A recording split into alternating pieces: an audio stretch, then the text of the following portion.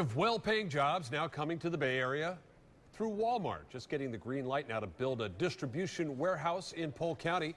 The plans could create up to 600 new jobs for the area. And as ABC Action News reporter Jacqueline Ingles explains, just hours ago, county commissioners made the deal to develop even sweeter.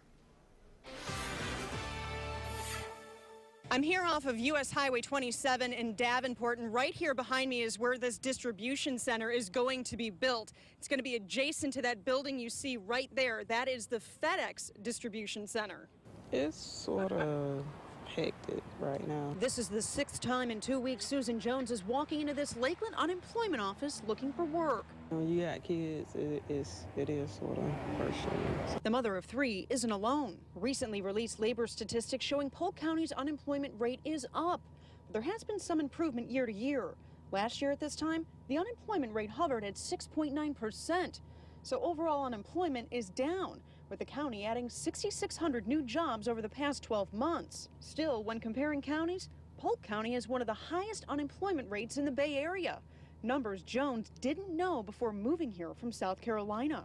Lots of people out of jobs, and they actually been here before I have. Relief is coming right here to Davenport.